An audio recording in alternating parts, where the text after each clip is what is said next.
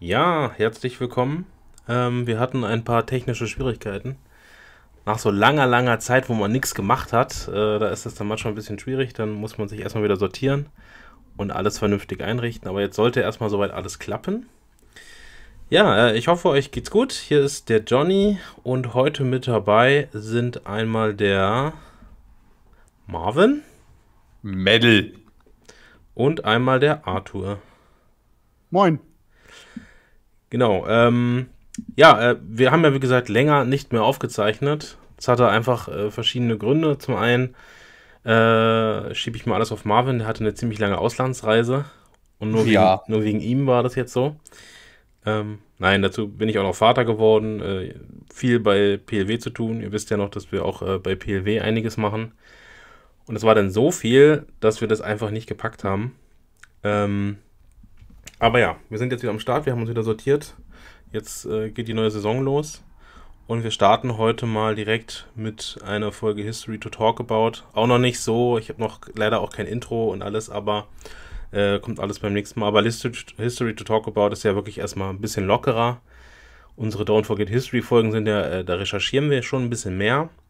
Und äh, aber jetzt äh, ist es halt wirklich so, dass wir gesagt haben, wir wollen erstmal wieder quatschen, wieder reinkommen. Wieder mit euch. Ich kann, aber, ich kann aber schon mal verkünden, wir kriegen wieder schöne neue Thumbnails von Owen. Das hört man gerne.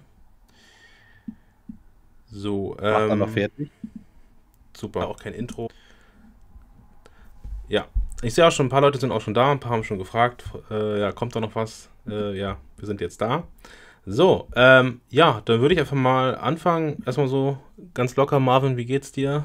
Was Spannendes passiert in letzter Zeit? Du kannst ja auch vielleicht nochmal kurz Revue passieren lassen. Was so ja, abging. ich war in. Ich war im Urlaub, habt ihr ja sicher gesehen. Ich war erst in Istanbul, dann war ich ein paar Tage leider nur in den USA. Das ist jetzt lange Geschichte, möchte ich jetzt nicht auspacken, relativ persönlich. Ähm, ja, hat nicht so geklappt, wie ich das wollte, und jetzt bin ich wieder da. Ähm, hab so ein bisschen, versuche jetzt meinen mein Scheiß nach und nach wieder aus den Staaten zurückzuholen, meinen Reenactment-Kram, den habe ich ja dahin geschickt. Ähm, habe jetzt ein paar neue Darstellungen angefangen in dem Bereich. Habe mich auch mit ein paar Leuten vernetzt. Den Tim kennst du ja schon, den Leland. Ja, ja. Dem habe ich jetzt ein bisschen mehr Kontakt. Was heißt ein bisschen mehr? Ein bisschen doll mehr. Ähm, ja, und ansonsten, Aber äh, platonisch, ne? Ja, natürlich platonisch. Ach so. Alles, alles nur platonisch hier.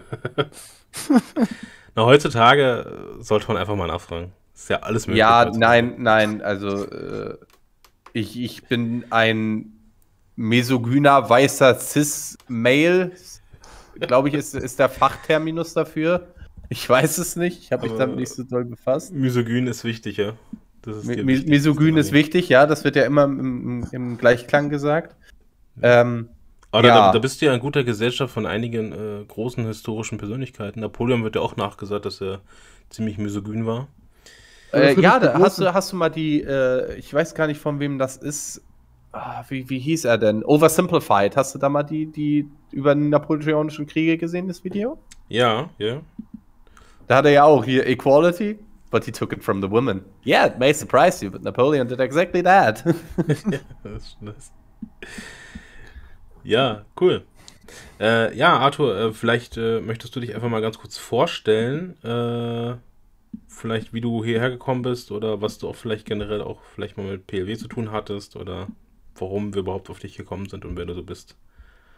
Jo, ähm, wie ich zu PLW und der ganzen Truppe gekommen bin, was mit denen schon zu tun hatte, war recht simpel. Hat mich dann eines Tages mal, nachdem ich mir die äh, Videos von PLW angeschaut habe, auf den PLW Discord äh, verschlagen. Und nach einer Schlimmste Entscheidung deines Lebens. ja, äh, das stimmt. Ist auf alle Fälle sehr, sehr Zeitraum, weil die Gesellschaft da ist dann doch meistens sehr anregend und ja, man bleibt dann im Gespräch hängen. Ja, und dann kam es dann auch irgendwann so weit, dass ich dann auch mal bei dem Dreh von PLW mitgewirkt habe. Es ist sehr polnisch geprägt, so viel kann ich sagen. Und ja, Du trifft sich ja auch ganz gut, dass du äh, auch, äh, ihr habt zwar irgendwie Beutedeutscher genannt, aber dass Ja. du auch Polnisch sprichst und alles, ne? genau. Der Ja. Tod sprach Polnisch. Wow. Ein sehr, sehr kontroverses Buch. Ach, ist ein Buch, okay, ich wollte schon sagen Nummer 1, Marv. Nein, nein, nein, nein, nein. Das ist, das ist tatsächlich, das ist tatsächlich ein sehr, sehr, äh, sehr, sehr kontroverses Buch. Ähm, beschäftigt sich mit der Verfolgung von Volksdeutschen in Polen vor dem Ausbruch des Zweiten Weltkrieges, der auch immer in dem Zusammenhang äh, genannt wird, so als, als äh, Begründung, warum Hitler den, den Krieg gegen Polen überhaupt erst begonnen habe. Ne? Gibt ja diese berühmte Rede, dass Polen diese Nacht auch bereits mit regulären Soldaten geschossen hat und das äh, als Grund genannt wurde, dass es halt diese Übergriffe auf Volksdeutsche gab. Die gab es.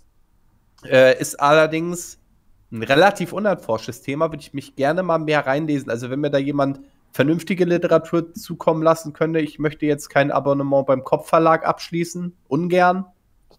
Ähm, ja, ich bin für sowas immer, immer offen. Muss jetzt auch nicht von Sönke Neitzel sein, will ich gar nicht haben, aber irgendwas, so eine wissenschaftliche Arbeit oder sowas darüber, das würde ich mich sehr drüber freuen. Ja, ja, da stellt sich der polnische Staat ja ein bisschen quer, was das angeht. Ja, das war ja bei unseren Mütter, unsere Väter schon so mit den Partisanen, ne? Das war ja schon. Hm. Ja, gut, das äh, war dann auch, kann, konnte ich aber auch verstehen, weil die deutschen Darsteller waren alle so die lieben, toll mit ihrem jüdischen Freund und so weiter. Der Alibi-Jude. Und die polnischen Partisanen, beziehungsweise die Soldaten der Avia Krajowa, wurden da so als, äh, ja, Antisemiten erster Klasse. Was, was hat der eine da gesagt mit der Schrotflinte? Er hat doch gesagt, die Juden ertränken wir wie Katzen, ne? Ja, ja. Das hat man dem so im Mund gelegt. Aber äh, gut, da muss ich mal sagen, dass ein paar von den Charakteren drehen ja auch schon ein bisschen ab, ne? Also, ähm, ich verstehe es schon, weil es bei den Polen halt super einseitig gezeigt wurde. Aber das ist immer das Problem, dann zu sagen, sowas gab es gar nicht. Aber es ist halt schwierig, wenn du in deinem Film nur eine Facette zeigst. Du musst schon, ja. wenn du wenn du es ganz korrekt machen willst, musst du so verschiedene Facetten. Außer bei einem Film über Dürlewange, da gibt es wahrscheinlich mhm. keine Facetten. Kommen und Sie? Vor allen Dingen ist man bei einer deutschen Produktion auch immer in einer scheiß Situation, anderen Leuten Antisemitismus vorzuwerfen. Ja. Während die deutschen Hauptcharaktere äh, lupenreine Westen vorzuweisen haben, bis jetzt auf äh, Dissertation oder anderer Widerstandshandlungen gegen das Dritte Reich. Ja gut, aber der eine, der, der eine hängt doch auch lauter Leute. Wie heißt der denn nochmal? Ähm, du weißt, wie der heißt, Marvin. Der hängt ah. doch da. Ja, gut, dieser Friedhelm, glaube ich, war Friedhelm, das, ne? Ja, danke, Friedhelm. Ja. Der hängt doch auch super viele Leute. Der ähm. ist doch nachher auch bei diesen, bei diesen Einsatzgruppen mit dabei.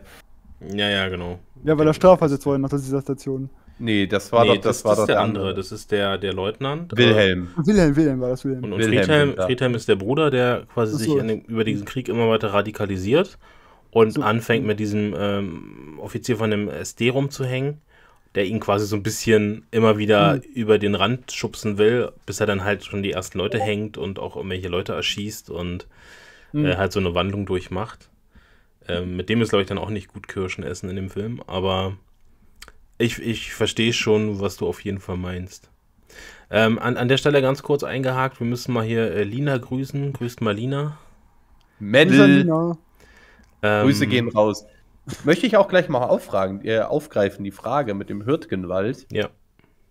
Ähm, bin ich tatsächlich noch nicht gewesen, steht ganz groß auf der Liste, zumindest die Wege, die man benutzen darf. Das ist ja in weiten Teilen immer noch äh, munitionsbelastetes Gelände.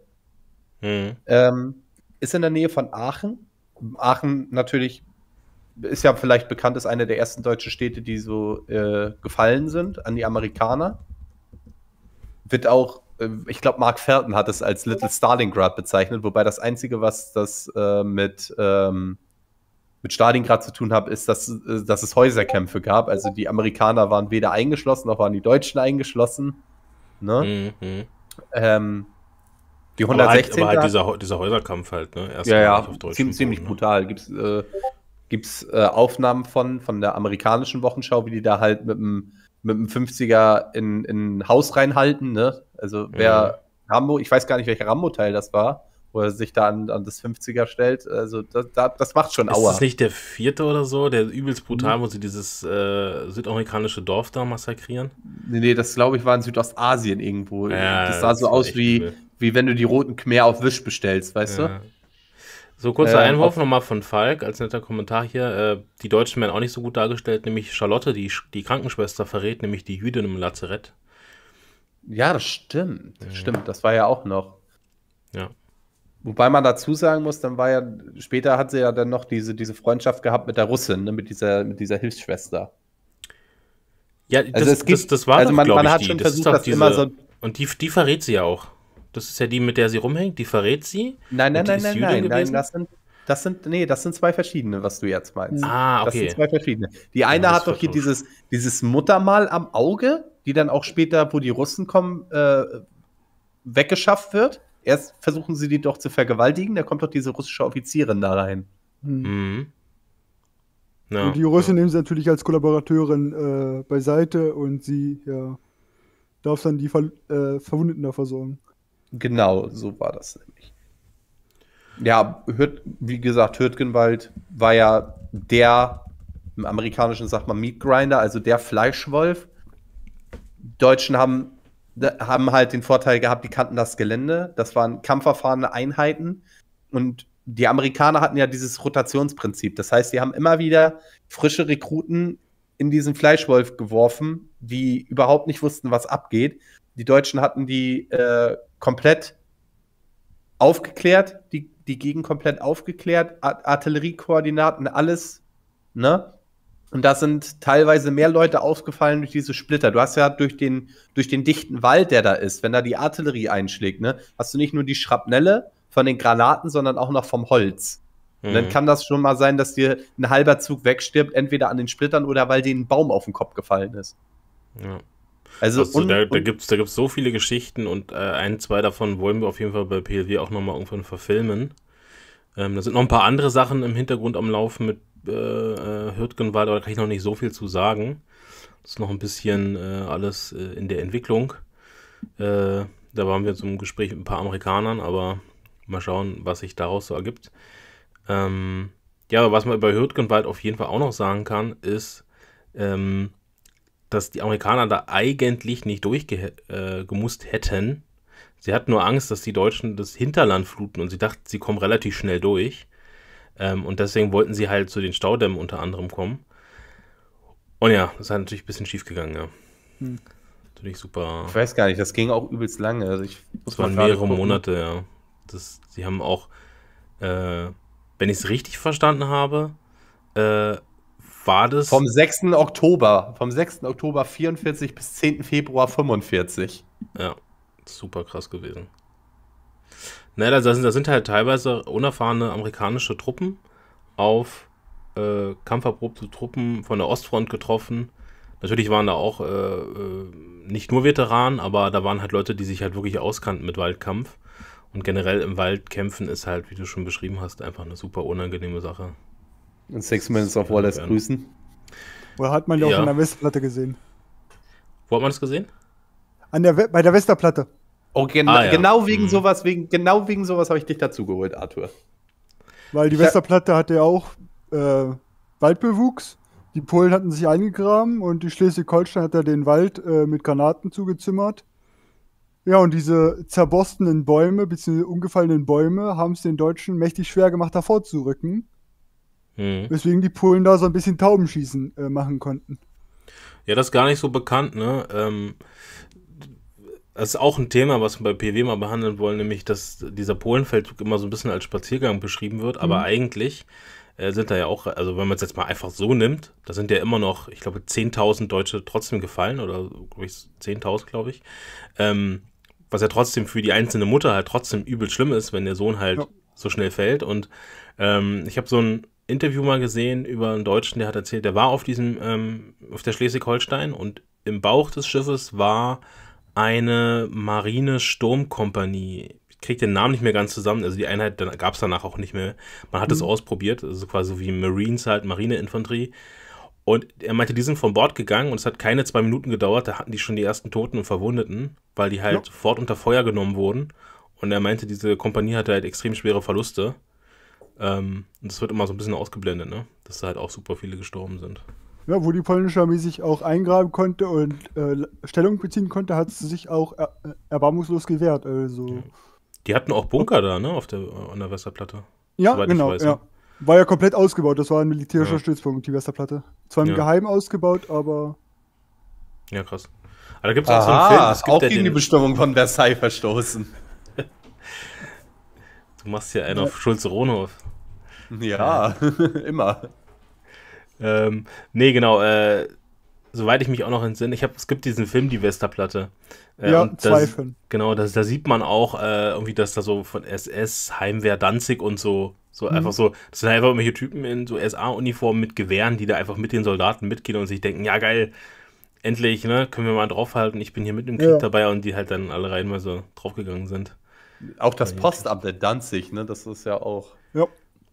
Das Aber ja auch da schwer eingeführt, umkämpft, ne? Naja, das Postamt von Danzig, man darf sich nicht vorstellen, dass das normale Postbeamte waren. Im Postamt von Danzig haben polnische Armeemitglieder äh, gedient.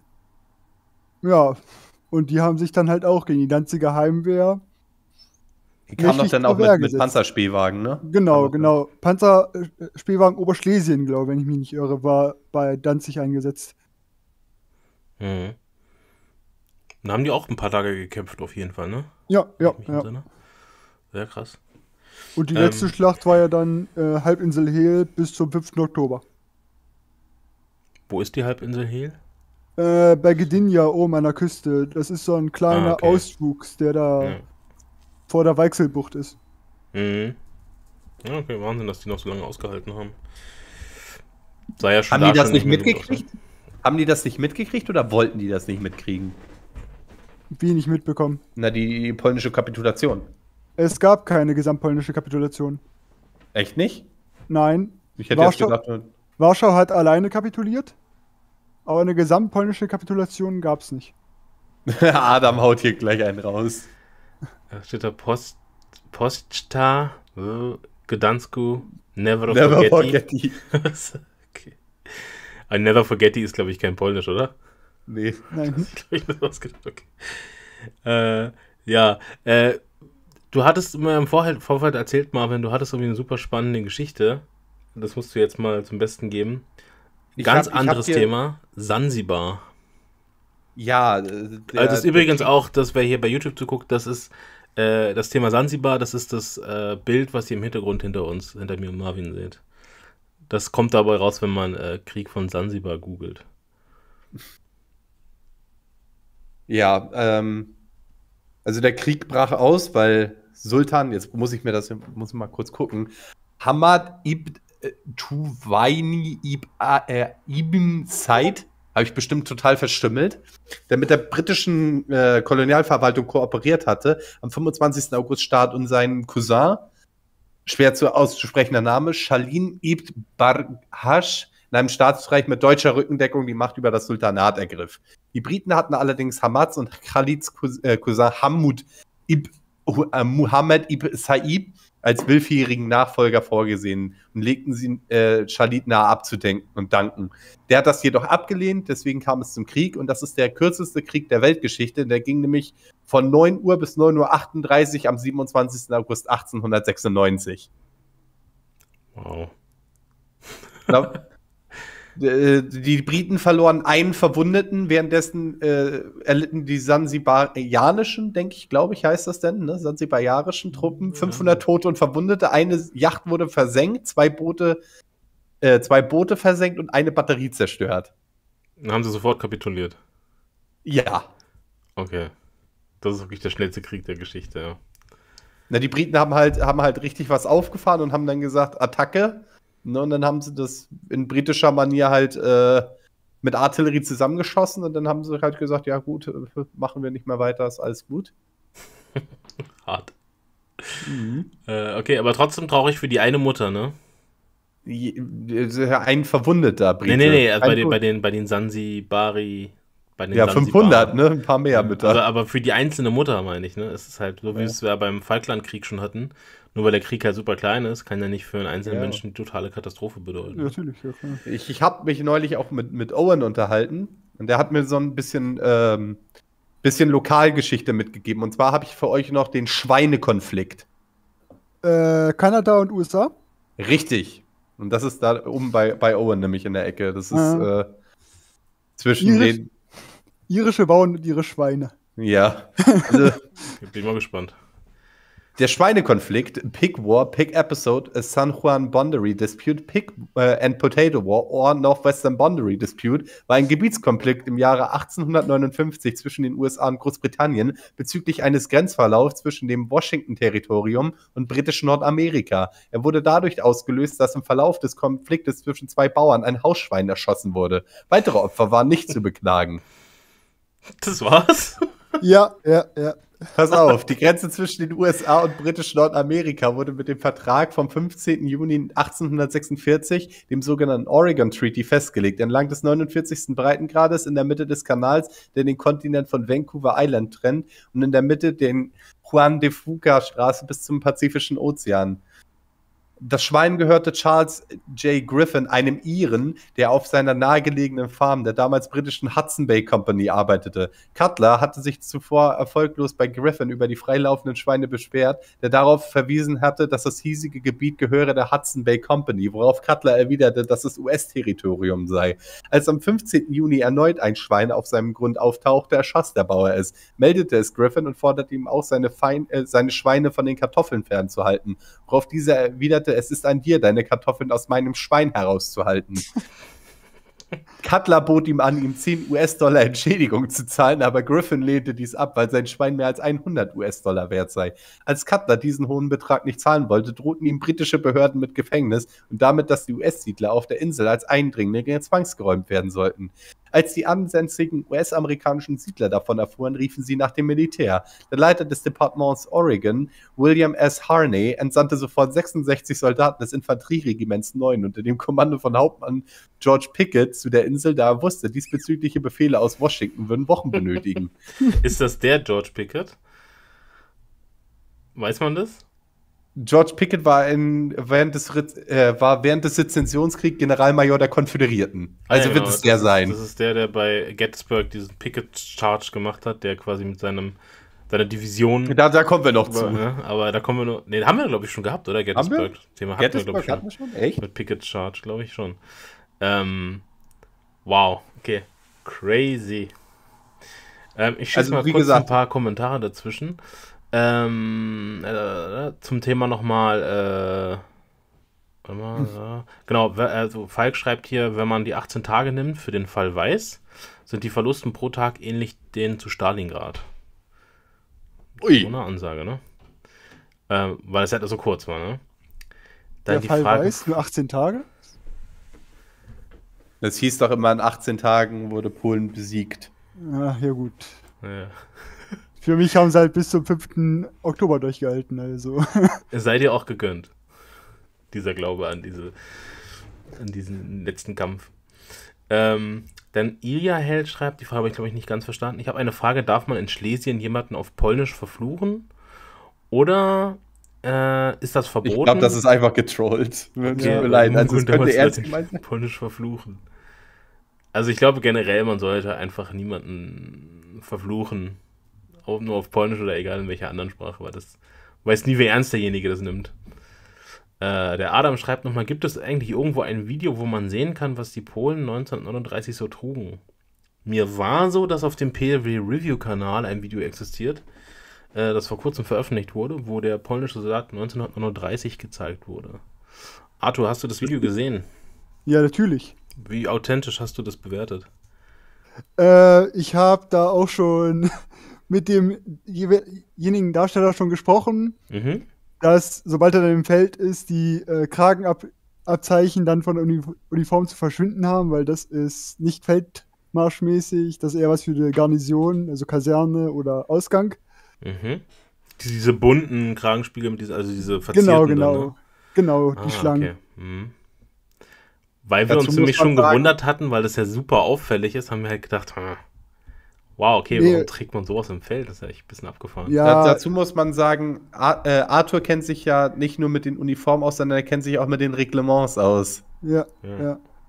Und ja, diese Kragenspiegel, das war halt wirklich eine Ausgehuniform oder in einer Kaserne, aber im Feld hat man dann ohne Kragenspiegel getragen. Ah, okay. Hatten halt Äh. mehrere Uniformen, zwei Stück oder sowas. Ah, okay. Ja, dann äh, erstmal Hallo an Hamika Barkas. Schön, dass du wieder dabei bist. alter, treuer Zuschauer, Zuhörer. Die Ähm, alte also- Garde. die alte Garde ist wieder da, äh, wie 1815. Ähm, Abend, da kann ich auch noch was Exotisches beisteuern. Äh, Incident ad Petrich. Oder Ich bin da aber noch nicht fertig. Jetzt kommt doch erst der richtig gute Teil. Ach so, okay, warte, aber ich mache das noch zu Ende. Der sogenannte Streunerhundkrieg zwischen Griechenland und Bulgarien 1925. Den habe ich auch noch auf hier. Hast du? Okay, dann, dann mach du erst noch, mach erst noch weiter mit dem Schweine, äh, Schweinekrieg.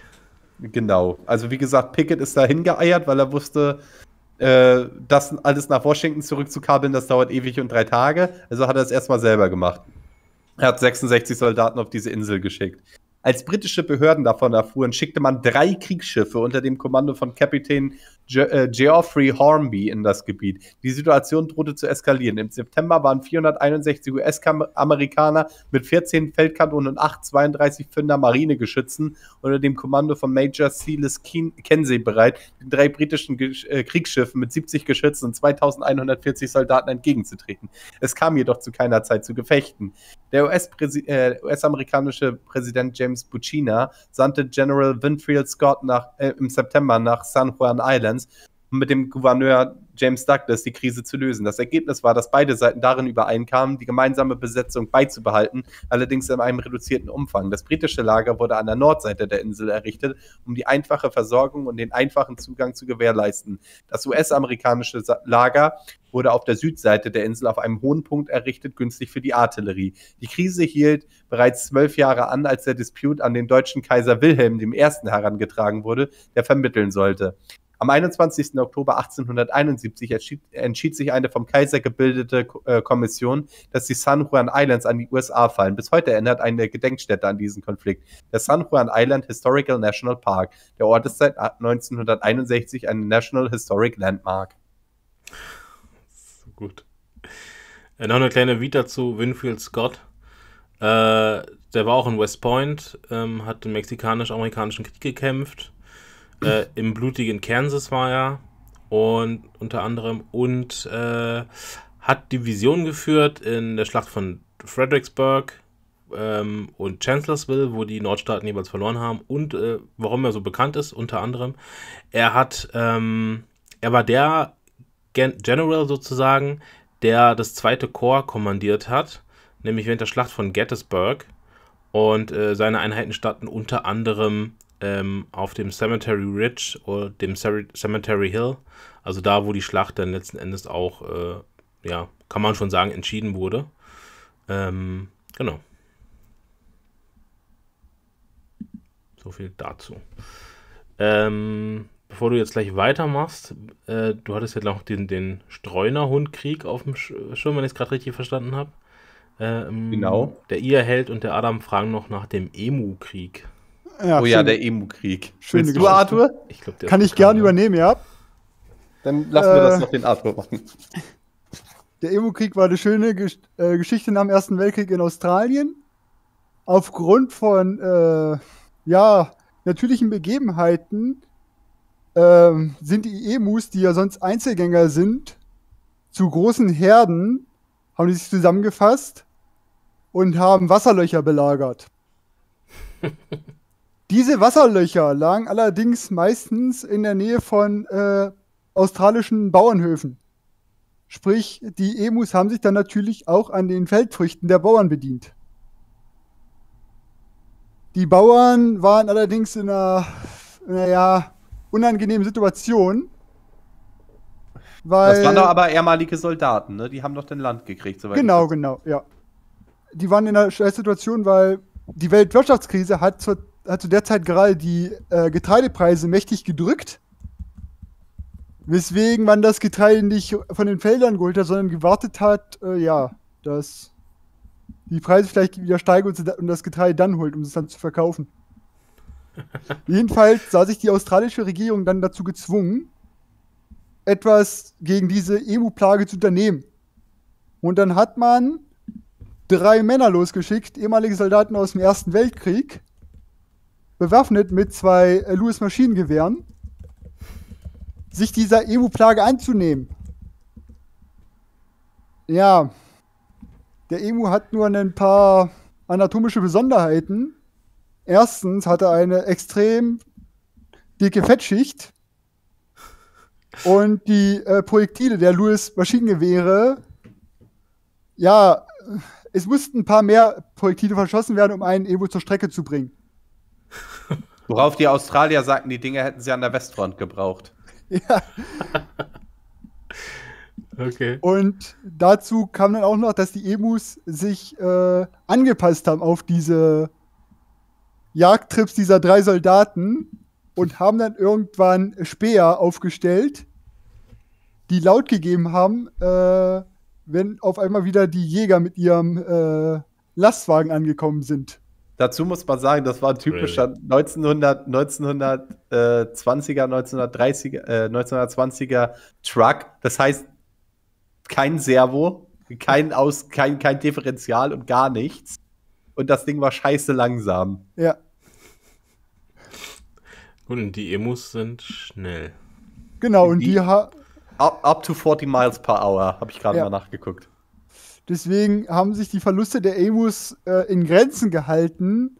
Der Munitionsverbrauch jedoch nicht. Ja. Und irgendwann hat man diese ganze Epoche, das ganze Vorhaben dann auch wieder äh, eingestampft und davon abgelassen. Auch weil die Emus sich dann wieder äh, getrennt haben und so weiter und sich die Lage generell entspannt hat. Aber Man muss dazu sagen, das hat sich entspannt, weil sie ein Kopfgeldsystem eingeführt haben. Aber Das trotzdem haben die Australier ja. da, da eine Niederlage einstecken müssen Ja, Gegen die Emus. gegen, äh, ja, gegen eine Gruppe Tiere. Ah, okay, wow. Deswegen nicht Australier töten dich in Australien, sondern Tiere töten dich in Australien. Aber das eher auch. In Australien tötet dich sowieso alles. Ja, Die Einheimischen eingeschlossen. Was willst du von der ehemaligen Strafkolonie erwarten? So, kleine Korrektur von Kevin Eichhorn. Vielen Dank für den Hinweis. Ich habe einen kleinen Fehler gemacht. Äh, oder auch einen großen Fehler. Äh, ich habe gerade von Winfield Scott erzählt. Ähm, den Mann, den ich meinte, das ist Winfield Scott Hancock.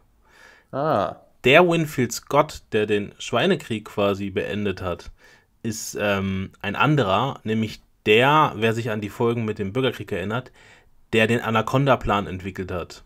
Der hat quasi sich die amerikanische Strategie überlegt, dass man die äh, Konföderation in zwei Teile teilen sollte und auch die, äh, na, die Blockade zu See aufrechterhalten könnte oder äh, beginnen sollte. Und äh, er hat ja auch nochmal geschrieben, nach dem wurde er benannt. Winfield Scott Hancock. Genau. Ah, Mal als wieder was gelernt heute. Also, Siehst du, wir sind ja auch nicht allwissend. Den Anspruch Genau. erheben wir auch nicht. Nee, deswegen, wir lernen ja mit euch gemeinsam, ne? Deswegen, aber die Namen sind halt super ähnlich. Und ich dachte, du hättest es beim Lesen quasi, hätte man das Hancock einfach nicht rangehangen. Nein, Ähm. das, das hätte ich dann schon gemacht. Das war. Cool. Aber nee, da kam, kam Owen nämlich einen Tag zu mir und meinte, wir haben euch ja die San Juan Islands zu verdanken. Ich meinte dann wie und dann hat er mir den Artikel da geschickt. ich wusste das auch nicht. Nee, super spannend. So. Aber musst mal überlegen, erst mal drei Kriegsschiffe hinschicken wegen, wegen, wegen einem toten Schwein. Ja, ist halt äh, damals halt. Kommt mir auch, kommt mir auch gerade noch in den Sinn. Ähm, der, der Punische Krieg ist geläufig, ne? Ja, haben wir auch schon hier behandelt, Ja. ja. Genau, die? Punischen Kriege sind ja geläufig. Und ich meine, das war erst in den 2000ern oder frühen 2000ern, dass Tunesien als Rechtsnachfolger des Kartha der Karthager und Italien als Rechtsnachfolger des Römischen Reiches äh, einen Friedensvertrag geschlossen haben. Oh, Das das ist aber schön. Weil der dritte Punische Krieg wurde ja nicht, nicht wirklich beendet. Es gab ja keinen mehr, mit dem man verhandeln konnte. Ja, aber das ist doch eine schöne Sache. Das ist ja noch länger als der Krieg um die Skilly Islands. Wo Ich kann ja mal gerade gucken. Das habe ich neulich erst gelesen. Das war nämlich der längste, der längste Krieg. Ähm, wo eine kleine Insel vor Großbritanniens Küste Frieden mit den Niederlanden schließen musste. Was, Gilly? Die Skilly Islands, das ist eine Inselgruppe vor Großbritannien. Mhm. Darin hat sich die äh, königlich äh, englische Marine im Bürgerkrieg zurückgezogen vor den äh, in England mittlerweile siegreichen Truppen Cromwells. Mhm. Und diese Marine befand sich durch einen Krieg der, des Königreichs äh, England mit den Niederlanden im Krieg mit den Niederländern. Hm, okay, interessant. Ja, da es aber nur so eine Sache ist, die nebenbei passiert ist, hat man dem natürlich nicht weiter Beachtung geschenkt und die Niederlande und Großbritannien haben auch danach weiterhin Beziehungen zueinander gehegt. Allerdings hat man dann irgendwann in den 1970er Jahren, wenn ich das, wenn ich das in Erinnerung habe, sich da mal die Mühe gemacht und einen Friedensvertrag zwischen den Skilly Islands und dem Königreich der Niederlanden aufgesetzt. Aber sowas ist doch cool. Also wäre schön, wenn in Deutschland auch mal sowas kriegen würde. Einen Friedensvertrag. Gibt es ja, soweit ich weiß, gibt es ja auch tatsächlich offiziell keinen Friedensvertrag. Äh, ja, da funktioniert oder- der 4 plus 2 Vertrag für. 2 plus 4, Ah, okay, ich, weil ne? da, da stecke ich jetzt nicht so tief drin. Ich wollte jetzt auch nicht irgendwie irgendeinen Quatsch erzählen, aber ich hatte es nur mal irgendwo ge- aufgeschnappt, dass es quasi kein. Äh, das gibt ja nur den Waffenstillstandsvertrag, äh, Die die bedingungslose Kapitulation der Wehrmacht. Kapitulation, aber es gibt ja im Grunde, gab es ja nie einen Friedensvertrag, der unterzeichnet wurde danach.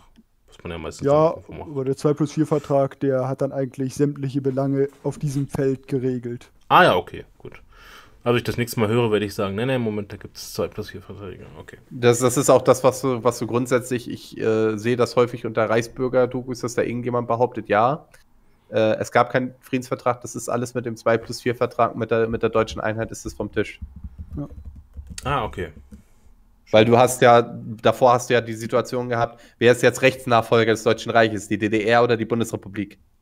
Mhm.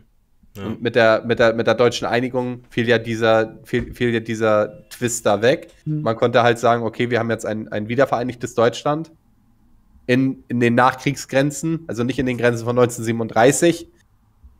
Ähm, und da konnte man jetzt wirklich, okay, jetzt haben wir ein Deutschland, jetzt haben wir einen Rechtsnachfolger, jetzt haben wir eine Institution, an die wir uns wenden können, jetzt können wir uns unterhalten. Mhm, mhm. Dann begann ja auch der, der Abzug der russischen Truppen und so weiter. Ja. Die Amerikaner, jetzt, jetzt höre ich schon, Nachtigall, ich höre dir Trapsen, warum sind die Amerikaner noch da? Äh, die sind NATO-Partner. die Ja. dürfen, wenn sie möchten. Ich glaube, sich, äh, auch wenn sie keine Partner wäre, dürften sie, solange sie eine Armee haben, die größer ist als unsere. Ja, gut. Es ist halt, es ist halt äh, geostrategisches Interesse beider Seiten.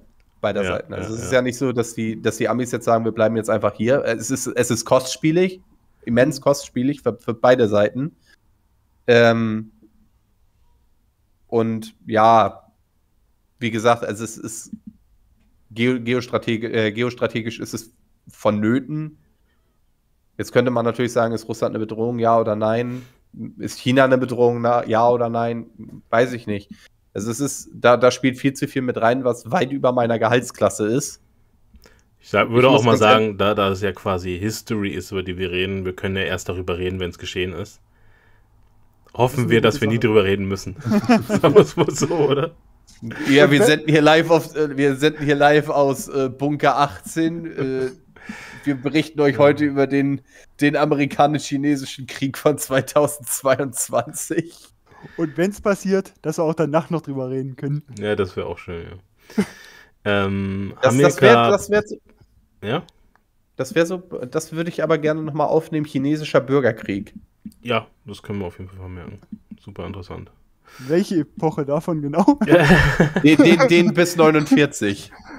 Also der dann nach dem äh, Zweiten Weltkrieg dann richtig. Genau, ja. Der, der, der nach dem Zweiten Weltkrieg, der eigentlich schon mit, mit, ähm, mit dem Abdanken des letzten Kaisers angefangen hatte und der Ja. dann 49 aufgehört hat. Hm, Oder offiziell dann nicht aufgehört hat, weil Taiwan die, die Volksrepublik nicht anerkennt. ja. Ähm, ich hake mal nochmal ein hier mit Hamilcar Barkas, wo wir jetzt gerade bei absurden Kriegen waren. Er hat gesagt, ich biete noch den Fußballkrieg zwischen Honduras und El Salvador an. Ähm, Den habe ich hier auch tatsächlich auf. Ah, Ja, okay, dann, dann kannst du den machen. Ich habe den Artikel hier gerade aufgerufen, aber dann. Äh, der, nee, der mach du. Ich habe ich hab schon so viele heute. Ich habe selber noch ein paar Themen, deswegen, also gerne, so. äh, wenn du es hast, vorbereitet hast, dann gerne. Dann belehre uns. Ich über hätte auch noch den, den Kabeljau-Krieg. Oh, schöne Sache. Zwölf lass uns- Mainzone ist nicht genug. Dann lass, lass uns die zwei noch machen, dann, dann würde ich mal noch ein, würde ich mal reinkoten und noch mal ein ganz anderes Thema anbringen. Also, willst du, Arthur? Äh, Kabeljau-Krieg? Bitte. Dann mache ich, mach ich den Fußballkrieg. Ja, Kabeljau-Krieg. Wir befinden uns nach dem Zweiten Weltkrieg mit einem Kalten Krieg. Äh, Island, Land im Norden äh, Europas, traditionellen Fischereiland. hat er seine durch internationales Recht geschützte 12-Meilen-Zone, in dem äh, sie die Fischereirechte etc. Äh, aufrechterhalten, beziehungsweise den ihnen obliegen. Das Problem war nur, dass britische Schiff, äh, Fischer äh, genau vor dieser 12-Meilen-Zone und teilweise auch in diese 12-Meilen-Zone eingedrungen sind und halt die Kabeljau-Bestände vor Island abgefischt haben. Zum Nachsehen der isländischen Fischer. Weswegen dann äh, Island angefangen hat, seine äh, Zone da auszuweiten. Was dann natürlich den Briten nicht gepasst hat, Weswegen es dann auch bald wieder dazu gekommen ist, dass auch kleinere Auseinandersetzungen zwischen den Fischern gab, beziehungsweise die Briten auch angefangen haben, äh, kleinere Kriegsschiffe auffahren zu lassen. Soweit ich weiß, ist Gott sei Dank niemand dabei umgekommen. Aber die haben die doch gerammt, ne? Ja, ja, also das war eine ganz wilde Geschichte, wenn man bedenkt, es geht um Kabeljau. Da Aber- verstehen, die, da verstehen die keinen Spaß. Nee, nee, nee, nee. Ob, von, beiden Seiten ja, ob der Brite nun seine Fisch und Chips bekommt oder der Isländer seinen Trockenfisch. Also für beide ist der Kabeljau essentiell. Und Deswegen Aha. hat man das so ein bisschen hochkochen lassen und zurzeit hat man sich dann auf eine Einigung entscheiden können. Was sich ja dann noch, auch noch angeboten hat, beziehungsweise intakt geblieben ist, trotz des Ausscherens Großbritannien aus der EU, weil Island ja kein EU-Mitglied ist und deswegen ja separate Verträge mit Großbritannien unterhalten konnte. Ah, interessante Info, dass es bis heute noch Thema ist. Spannend. Hat sich das jetzt eigentlich mit dem Brexit geändert? Nein. nee, meinte er gerade, ja, genau. Das waren ja vor, das waren ja vor äh, EU-Verträge. Die zwischen dem äh, souveränen Land, was keine Bindung durch die EU hatte, mit einem anderen souveränen Land ohne Bindung zur EU unterhalten worden. Das schaffen die Briten bald wieder mit den Franzosen. Diese Fischerei ist ja echt ein Thema wegen Brexit, schreibt Hannika Ja. Barkas. Ja, der Ärmelkanal, äh, gut, da kann man die äh, Zonen nicht so weit ausgrenzen, weil irgendwann ist die Zone dann in Cherbourg beziehungsweise in Oxford. Also, Wäre doch cool, wenn die Franzosen die Berechtigung hätten, bis äh, die Themse hochzufahren, um da zu fischen. Wilhelm der Eroberer lässt grüßen. und die Engländer die Seine bis nach Paris. Wäre wieder fair. Ja, aber dann, aber dann nur mit, lang, mit langen Schiffen. Dann bricht der Patrick Schiffen. aus und Notre Dame, alle flüchten sich nach Notre Dame rein.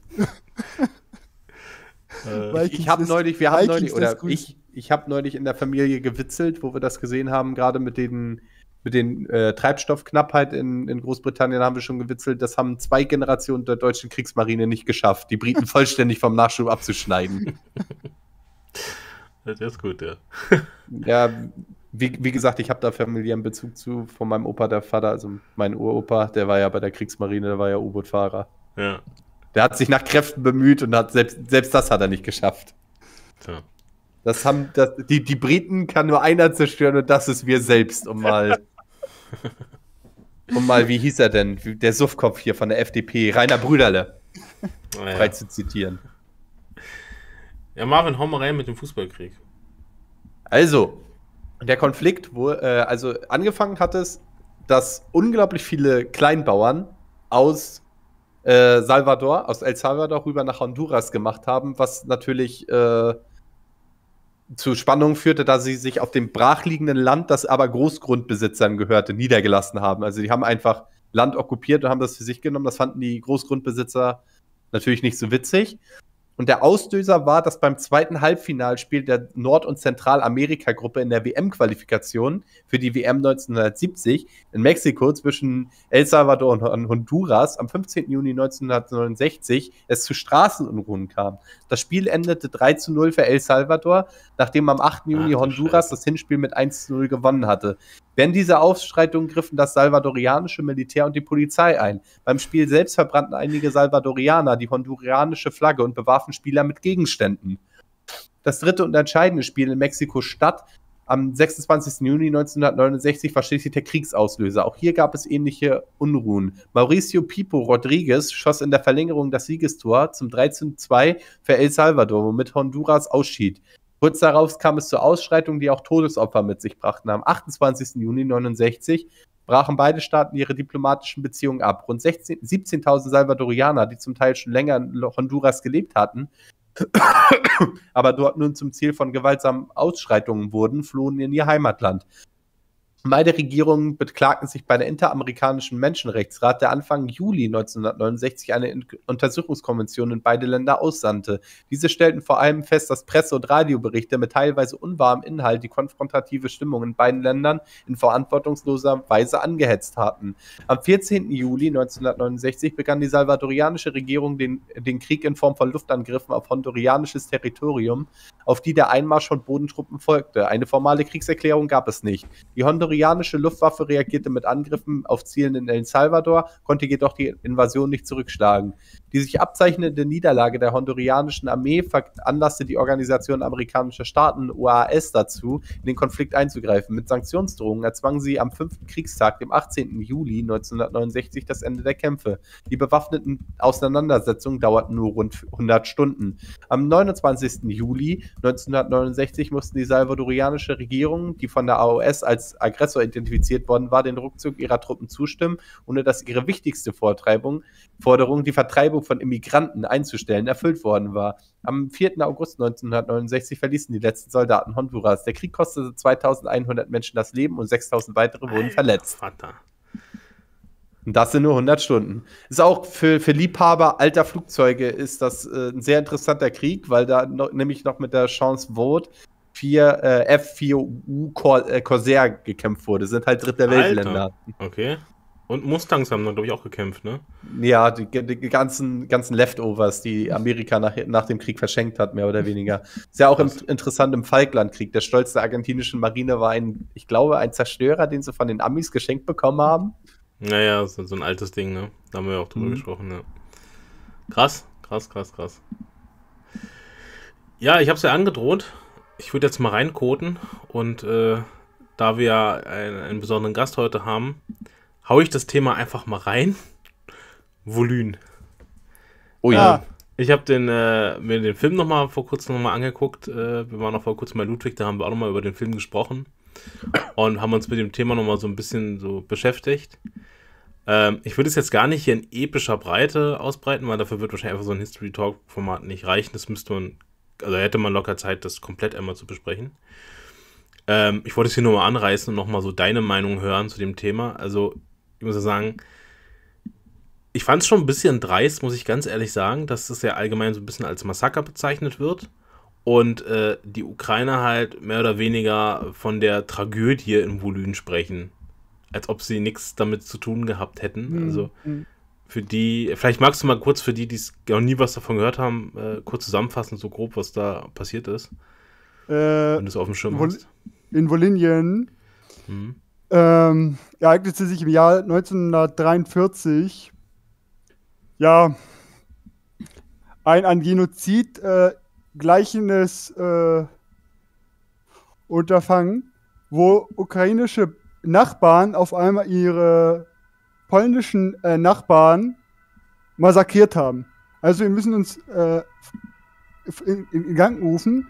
Äh, Wolinien äh, bis 39 äh, Ostpol ostpolnisches Gebiet war ethnisch sehr stark durchmischt. Man hatte Ukrainer, man hatte Polen, man hatte Juden.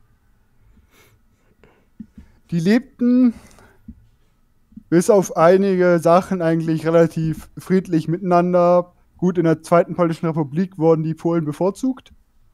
War nun mal das Staatsvolk. Ja, und dies hat sich dann in den Jahren da darauf, besonders nach dem Überfall auf Polen 1939, der Annexion der ostpolnischen Gebiete durch die Sowjetunion, äh, noch ein bisschen mehr hochgekocht, weil auf einmal waren die Ukrainer in der tonangebenden Situation und haben dann, ja, Rache gesonnen für diese Ungerechtigkeiten, die sie unter den Polen äh, erfahren mussten. Was sich dann so hochgekocht hat, dass äh, die Devise umging, eine freie Ukraine kann nur existieren ohne die Polen. Also war der Schluss daraus, den man geschlossen hat, man muss die Polen aus Wolinien vertreiben. Beziehungsweise ausrotten. Hm, ich wollte gerade sagen, es ging ja eigentlich, so wie ich es jetzt recherchiert habe, auch jetzt nicht nur darum, die Leute zu vertreiben, sondern wirklich auszumerzen, ne? Ja. Weswegen ja dann regelrechte Blutnächte zustande gekommen sind, wo dann halt die Ukrainer im Kollektiv gegen die äh, polnischen Nachbarn vorgegangen sind und daraufhin auch äh, Racheaktionen von polnischen äh, Bewohnern von Wolinien passiert sind, wo dann auch Polen ihre ukrainischen Nachbarn äh, abgemoxt haben. Ja. Aber die Verhältnisse und, sind da schon ein bisschen unterschiedlich, ne? Ja, ähm, die, also die äh, Todeszahlen der Polen waren durchaus höher als die der Ukrainer. Das lag aber auch daran, dass die Ukrainer die Bevölkerungsmehrheit in den Gebieten stellten und die Polen eher so äh, wohlhabenderes Bauerntum und so weiter gestellt haben. Mhm. Deswegen gab es da auch zu, grob zu Deutsch übersetzt in Polen meist diesen Spruch von wegen der Pole ist der Herr und der Ukrainer der Knecht. Ja, dieses, dieses von oben herab, ja, das hat dann da blutige Ernte getragen, 43. Ja.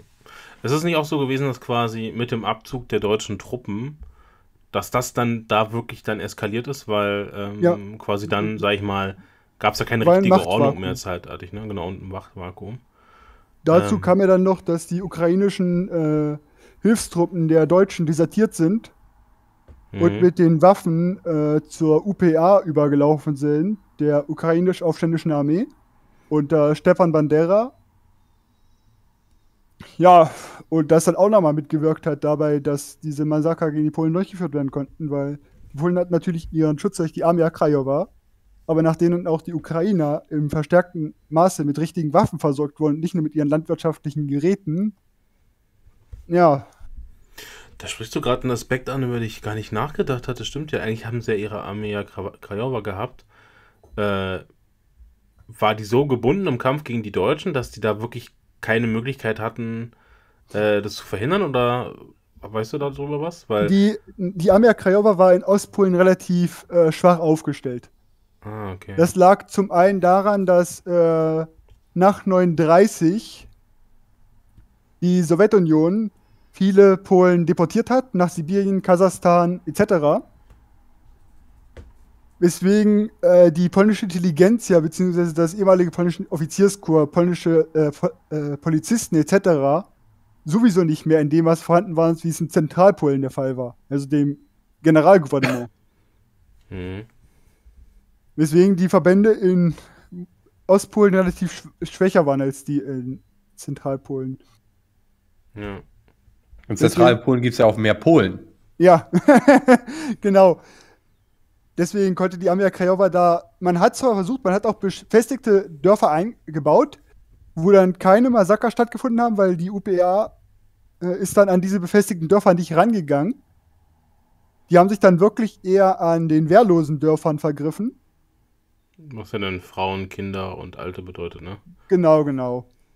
Und die dann halt auf bestialische Art und Weise abgeschlachtet. Ich kenne den Film selber ist dann ja auch äh, recht bildlich dargestellt. Mhm. Also das ist in dem Film auch, glaube ich, also würde ich sagen, auch nicht äh, überdramatisiert, sondern ich habe auch nochmal so Texte gelesen und äh, habe mal ein so ein PDF in einem Buch reingelesen. Das kannst du eigentlich nicht lesen, weil das einfach geisteskrank ist, was die gemacht haben. Also ja. Ich werde jetzt gar nicht ins Detail gehen, aber wir reden hier von Äxten und Beilen und Spießen und Heulgabeln und alles, das klingt so ein bisschen wie das, was die Ustasche abgezogen hat, ne? Ja, ja, die, hat, ja. die hatten halt landwirtschaftliche Gerätschaften und was machst du mit landwirtschaftlichen Gerätschaften? Mhm. Das ist. Also wirklich mittelalterlich, kann man eigentlich fast schon sagen, ne? Ja, ja. ja. Und einfach ohne Gnade. Also das ist halt super krass, ne? Das war blanker ähm, Hass, die haben sich so dermaßen hochgeschaukelt, die haben antipolnischen Hass. Mit nur Ausrufen, die man auch heute in der Ukraine wieder hört, wie Slava Ukraina. Mhm. Bis Slava Heroja Ukraini, also Ehre den Helden der Ukraine. Ja. ja. Also es war eine Amika, ähnliche. Amika schreibt ja auch gerade, klingt ja fast wie der Jugoslawienkrieg, Nachbarn, die aufeinander losgehen.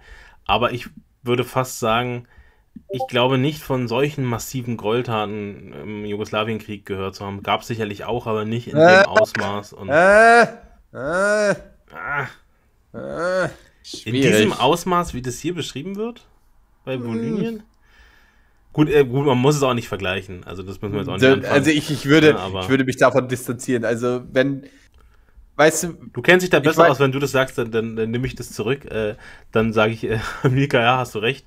Äh, wahrscheinlich äh, ist es leider. ich, halt ich weiß nicht, also ich, ich, ich nenne jetzt mal, Bevor ich ich mich da in die Nesseln setze. Wir waren ja immer vorsichtig bei dem Thema, dann bleiben wir so, auch. ich, ich, ich, ich jetzt, jetzt hau ich mal einen raus. Ich weiß nicht, ich glaube, das war in Vukovar.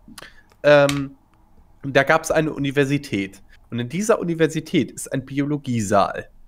Und in diesem Biologiesaal haben sie Frauen vergewaltigt und das neben den Leichen von denen, die sie dort erschossen haben. Ich weiß jetzt nicht, ob das, ob das jetzt besser ist oder schlechter ist, als wenn du jetzt, ne? Aber, ne? Es hat nicht ganz das Mittelalterliche, wie vielleicht bei denen. Ja, also aber ich- du musst, dir- ne, musst ja aber- auch überlegen, das ist erst 30 Jahre her, ne? Ja, ja.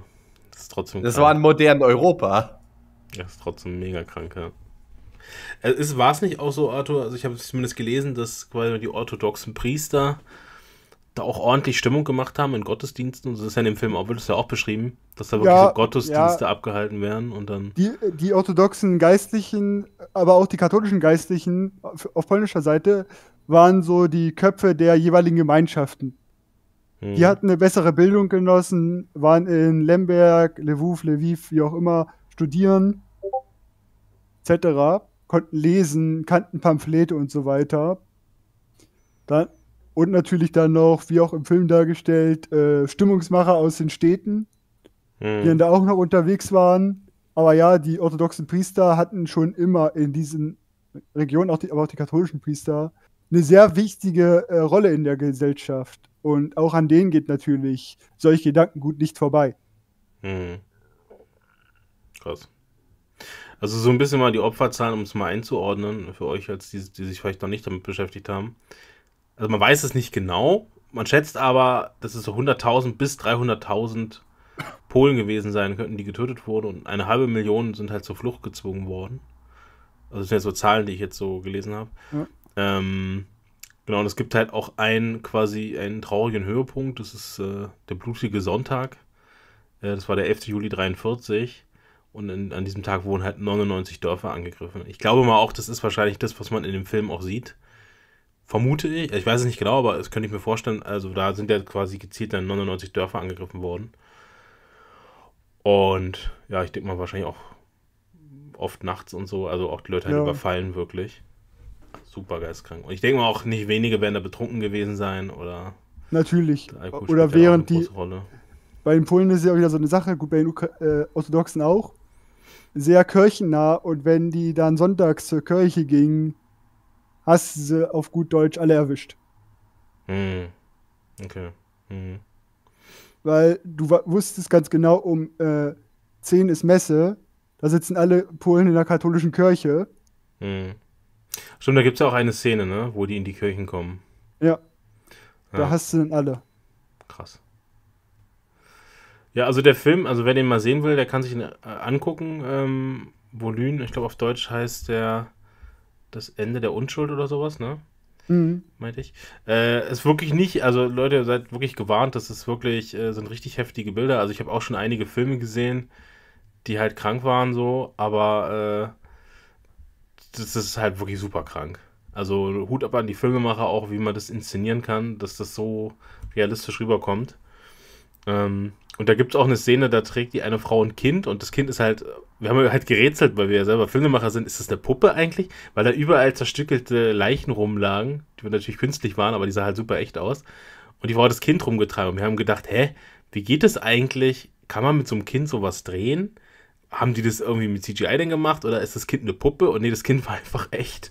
Also das will ich mal den Regisseur sehen, der ihm erklärt, du, das sind alles Puppen, das ist alles nicht schlimm. Guck mal hier, die kannst du auch mit denen spielen, das ist alles...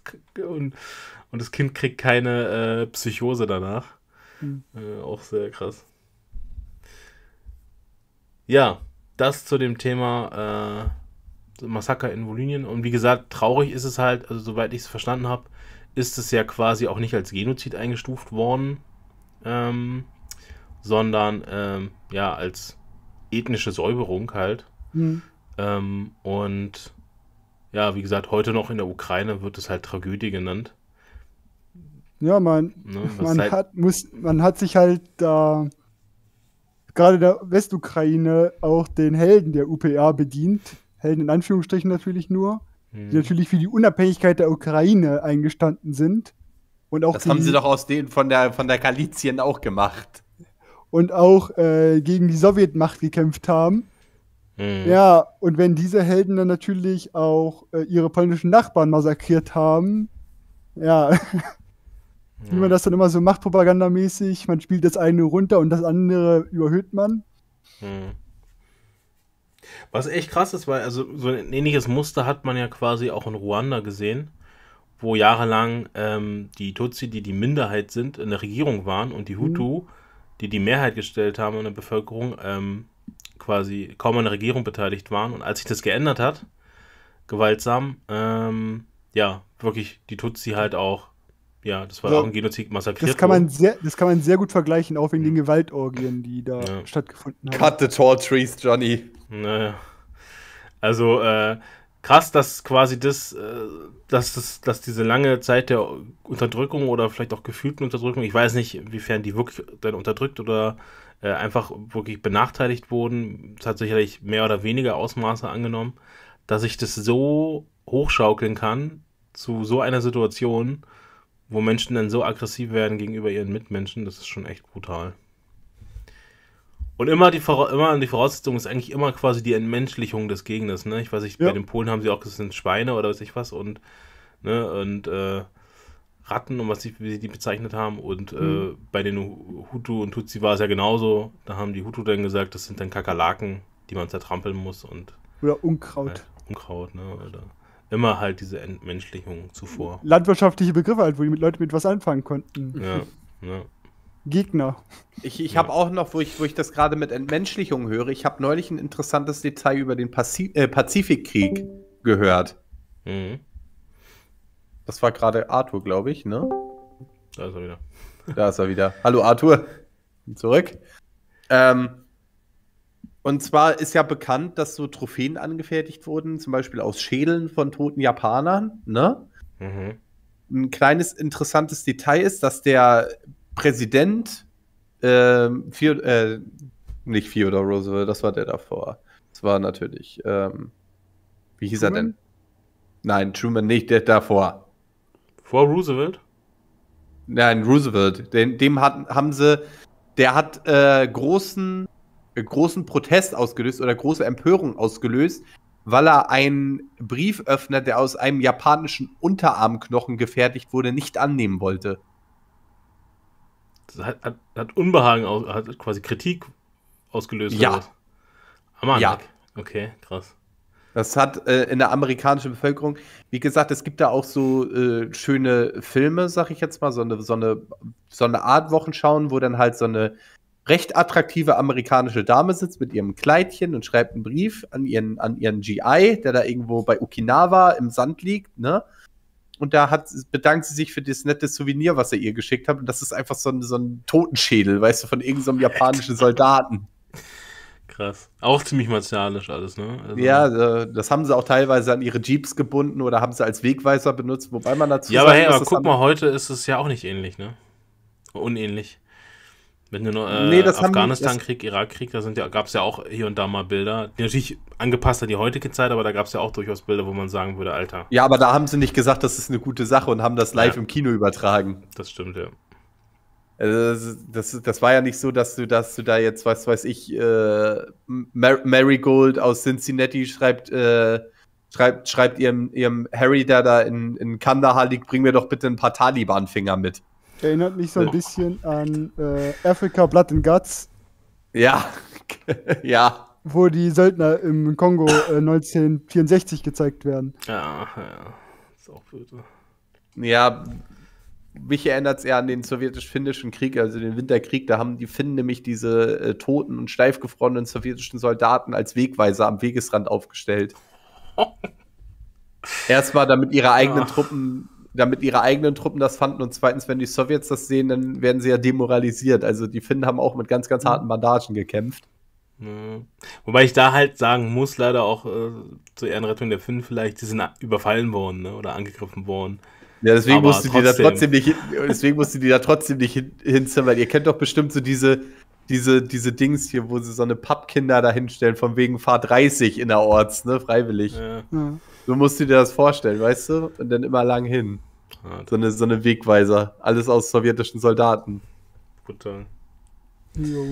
ähm, ich habe noch ein weiteres Thema mitgebracht. Und zwar habe ich einen äh, ganz coolen Film gesehen. Also, ich habe äh, jetzt eh so ein bisschen ausgelöst durch Suicide Squad und so. Und ich bin ja eh so ein bisschen asiatophil, wenn man das so nennen will. Oder japanophil und stehe so auf die japanische Kultur und habe auch Japanisch bist also ein Weeb. und sowas. Was bin ich? Ein Weep? Ein Weep. Was ist ein Weep? Das sind so welche, die die Japan über alles vergöttern. Hier so mit dem, mit dem, äh, mit dem Waifu-Kissen, weißt du? Also, nee, Ich denk- so denk hart. aber ja, nicht, diese, dass Diese so- Neckbeards. nee, Ich denke aber nicht, dass er so Und, und da hat noch ein Samurai-Schwert und ein Fedora. Nein. Also die, die japanische Bevölkerung selber, das ist so wie ein Volk von, leider ein bisschen auch von Duckmäusern so. Das ist ganz schlimm, wenn du da bist.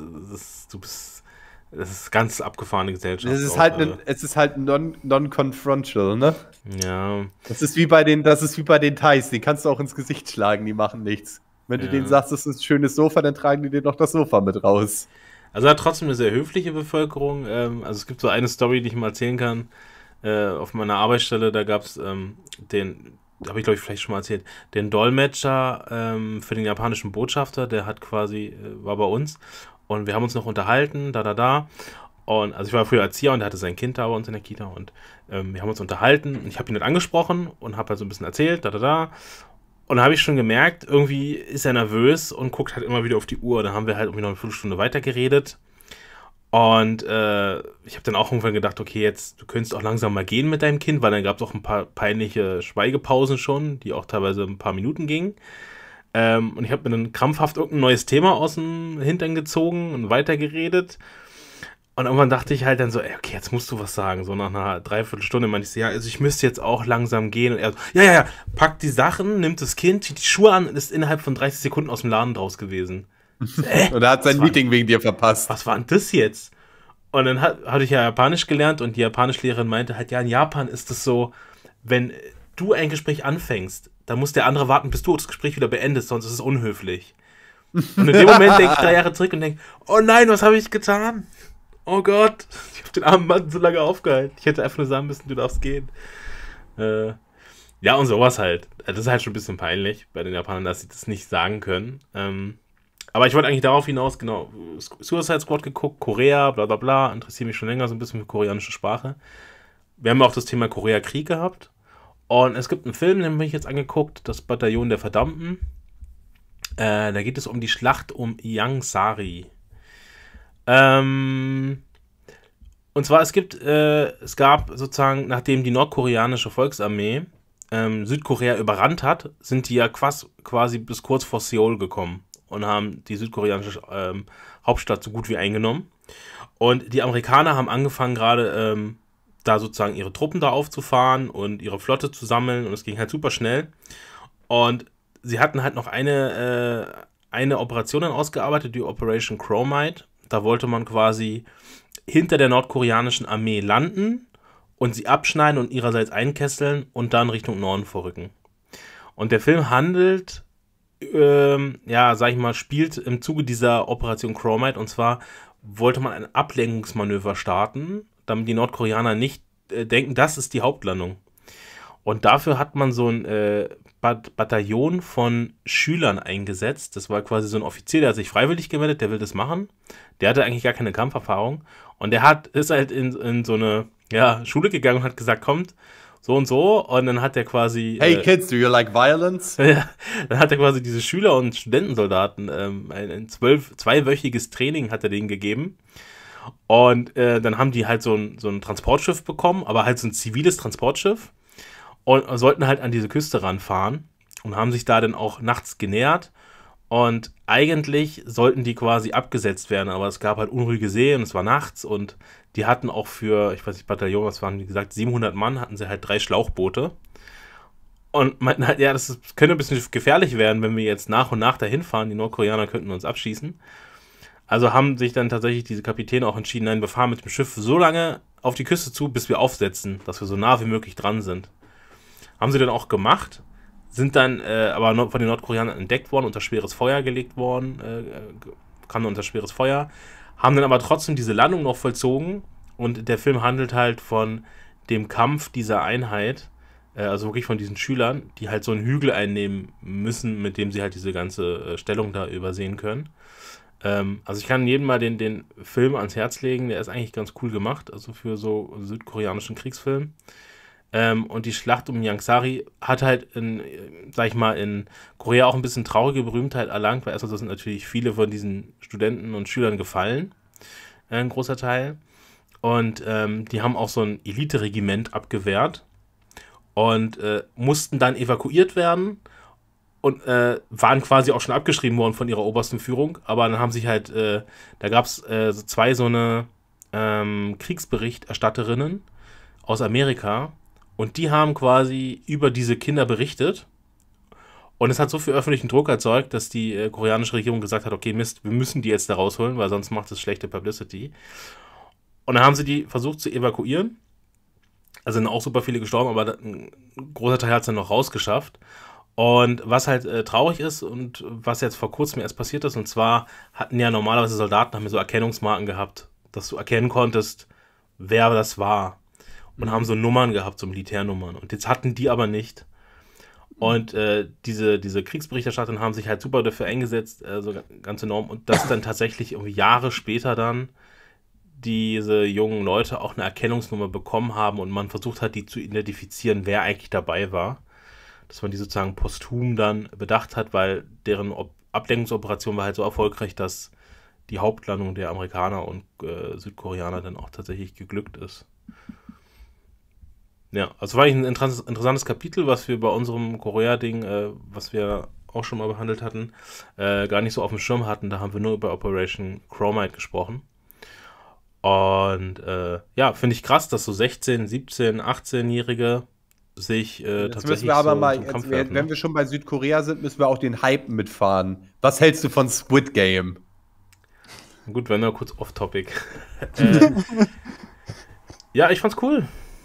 Also ich fand's cool. Also ich finde auch die Backstory von dem Regisseur cool, weil er hat äh, zehn Jahre an dem Skript gearbeitet. Hat, hat keinen Abnehmer gefunden. Hat keinen Abnehmer gefunden, hat teilweise seinen Laptop verkauft. Nee, wie hat das hat er gemacht? Doch, der hat sein äh, Laptop verkauft, auf dem er das Skript geschrieben hat, weil er quasi nur damit beschäftigt war, das Ding hatte das ausgedruckt, hat dann sein Laptop verkauft, weil er seine Miete nicht mehr zahlen konnte. Also der war so am Boden. Er hat auch Zähne verloren, also ein Scheiß. Ja, ne? ja, und dass man dann so hochkommt und dann so eine Story nochmal dann äh, rausbringt, die dann halt so erfolgreich wird. Und äh, wie gesagt, ja, durch die, durch die Serie, ich habe vorher schon koreanische Sachen geguckt, aber durch die Serie habe ich so ein bisschen so die Liebe zum Koreanischen entdeckt, weil äh, die Sprache eigentlich ganz cool ist. Du wolltest doch einfach nur einen Grund haben, Kimchi zu essen. Ja. Achso, und was, was du vielleicht nicht wusstest, ne? Koreanisch ist die erste Sprache, von der man weiß, wie sie entstanden ist. Weil irgendwie Echt? um äh, 1400 mhm. noch was haben sich irgendwelche äh, gebildeten Typen hingesetzt und haben die Sprache einfach entwickelt. Und daher weiß man ganz genau, wann diese Sprache entstanden ist und äh, wer sie erfunden hat. Und ja, super interessant. Und deswegen ist die auch so durchdacht. Also die ist halt ziemlich clever, die Sprache. Ähm, die funktioniert ja mit diesen, mit diesen Kreuzen und dann trägst du da immer links, rechts so die anderen Zeichen ein. Ja. Und sie haben es nicht von den Chinesen geklaut, das finde ich auch cool. Das ist ja bei den Japanern, deswegen finde ich das ja. immer interessant. Ich finde das interessant, auf welchen Trip die Japaner im Zweiten Weltkrieg waren. Die haben ja die Chinesen waren ja für die Untermenschen. Dabei haben sie ja eigentlich so viel von den Chinesen übernommen, ne? Die ganze Schrift und so weiter. Ja, aber ist das nicht der Minderwertigkeitskomplex, den sie dann hatten dadurch?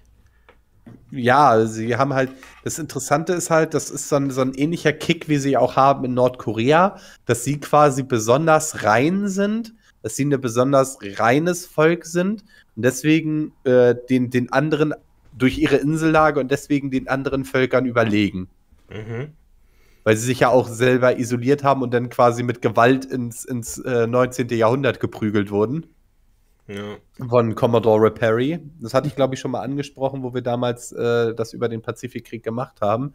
Dass ja die Flagge, die, äh, ich weiß gar nicht, welche das war, ich glaube, die USS Lincoln war das, äh, wo, die, wo die Kapitulation unterzeichnet worden ist, das Kriegsschiff. Ich glaube, Ähm, es war nicht die Lincoln, ich glaube, es war ein anderes, aber ja. ja, ist auch egal. Auf jeden Fall dieses Schlachtschiff, wo die äh, ähm, Japaner die bedingungslose Kapitulation unterzeichnet haben. Die Flagge, die dort gehisst wurde, über der japanischen Delegation, das war exakt die Flagge, die Commodore Perry an seinem Flaggschiff hatte, als er Japan dazu zwang, sich für den Westen zu öffnen. Also die ultimative, Scheiße. ultimative Demütigung. Ey, das war das Schlachtschiff Missouri. Die Schlacht, das Schlachtschiff Missouri, ja. Aber Aber du musst Mann. dir das mal überlegen, diesen Aufwand zu betreiben, diese scheiß Flagge darüber zu schicken. Ja. Einfach Aber nur, um zu sagen, ihr könnt uns. Macht sich halt cool in der PR, ne? Ja, Das werden sie sicherlich auch ausgeschlachtet haben. Kann ich mir gut ja aber vorstellen. das, das ist, ist sogar ein relativ unbekannter Fakt tatsächlich, dass das exakt die Flagge war. Krass. Ja, ein Typ, ja, äh, krank. Und irgendeiner hat sich gedacht, das ist eine verdammt gute Aktion. Wir haben die schon so auf dem Boden, ne? Ist genauso mit dem, mit dem, mit dem Atombombenabwurf auf Hiroshima.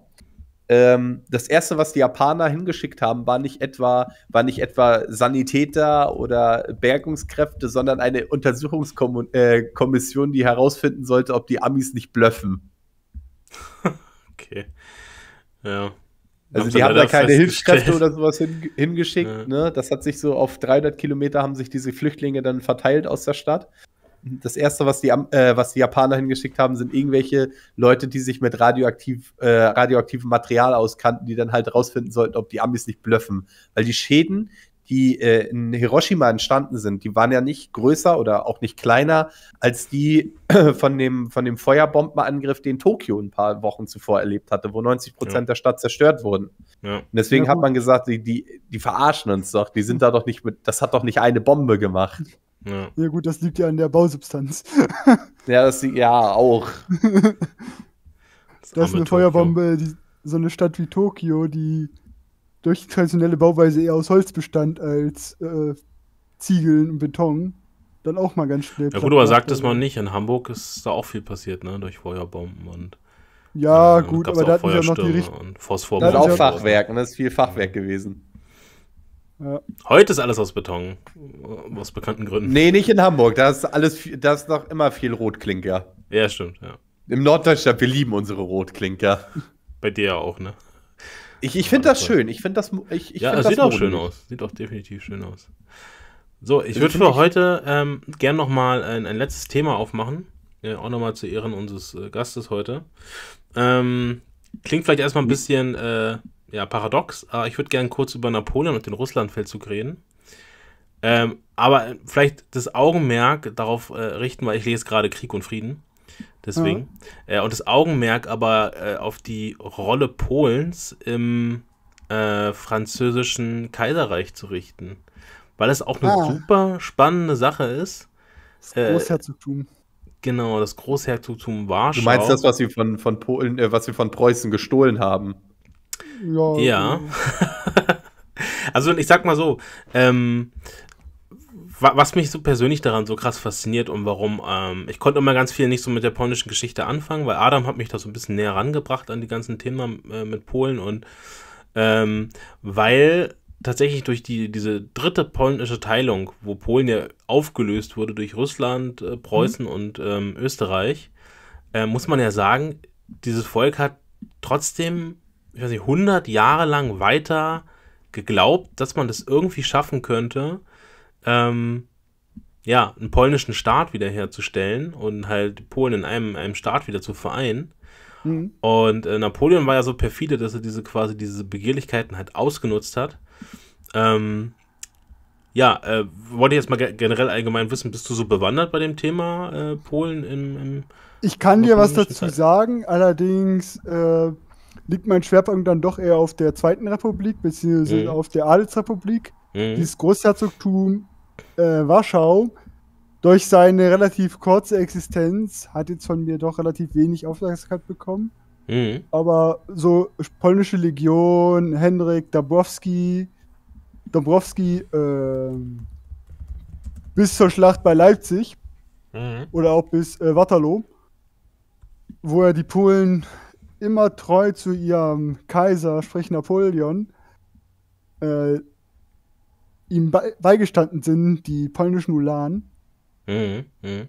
Also ein bisschen was kann ich dazu schon sagen, ja. Also, Waren das nicht die, die bei Leipzig noch in Angriff geritten sind? ja, genau. War das Leipzig? Ja.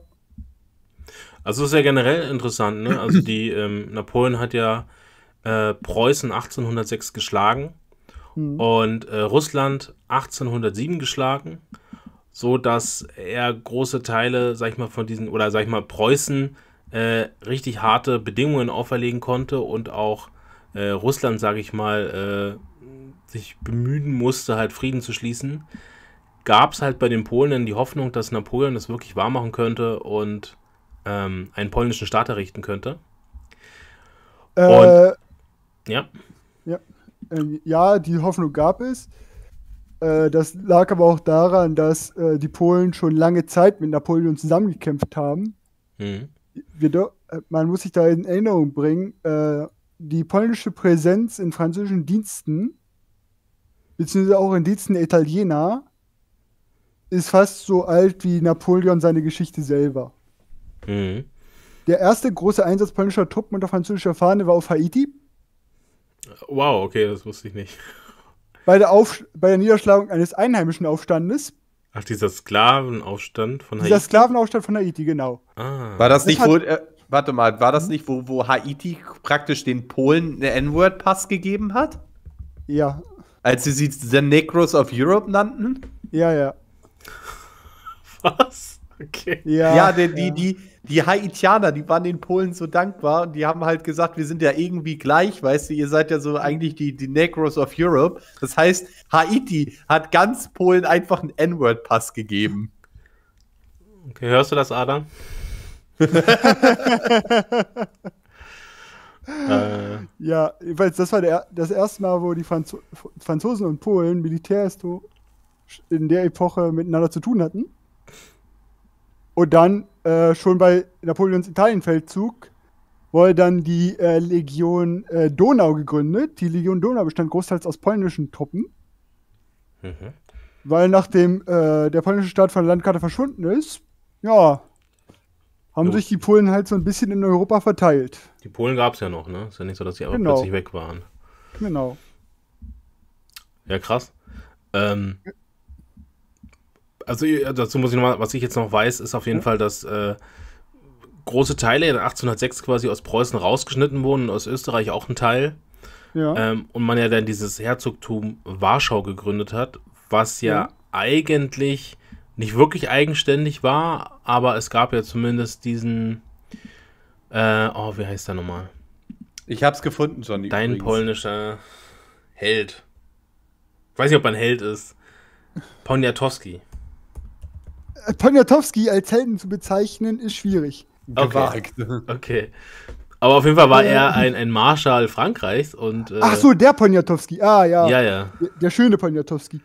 Ach, gibt's auch einen anderen Poniatowski? Den hässlichen. Nee, das war der letzte König Polens. Äh, Ach so, Stanislav Poniatowski- II. August Genau. Poniatowski. genau, an den dachte ich jetzt. Aber ja, Jasche Poniatowski war es ja, glaube Oder war es Andrzej? Äh, Ja, ich so gucke gerade mal. Äh, Antoni. Antoni, nicht Antoni. Antoni. Äh, Anto- Josef, Antoni Josef Antoni Hm. Poniatowski, der auch Ja, 1813 der ja, schöne- gestorben ist dann. Der schöne Poniatowski. Bei der Schlacht bei Leipzig ist er doch, glaube ich, gefallen, wenn ich mich nicht irre. Ja, ich meine auch, ja. Ja, Nee, ich glaub, warte mal, ist der, ist der in der Schlacht gefallen? Ja, tatsächlich. Er trank im Fluss, ja, das war diese Hm. traurige Sache, ja. der und Henrik Dombowski sind ja so die Nationalhelden der Epoche. Mhm. Dombrowski wird ja auch in der polnischen Hymne besungen. Jeder, der schon mal die erste Strophe gehört hat. Ah, okay. Mhm. Heißt ja auch äh, Marsch, Marsch Dombrowski. Okay. Von Italien bis nach Polen. Oh, okay. Ah, Ja. hier, Jan, Jan, Dam nee, mal, das ist ein anderer. Hendrik Dombowski, okay. Witzig. Krass, dass so ein alter Held noch besungen wird. Okay, Wahnsinn. Ja, weil das war das erste Mal nach der Altsrepublik, dass der polnische Staat wieder erblüht ist unter den Völkern Europas. Mhm. Auch wieder mit den, ehemal mit den ehemaligen Königen zusammen, mit den Sachsenkönigen. Man hatte ja wieder Personalunion. Mhm.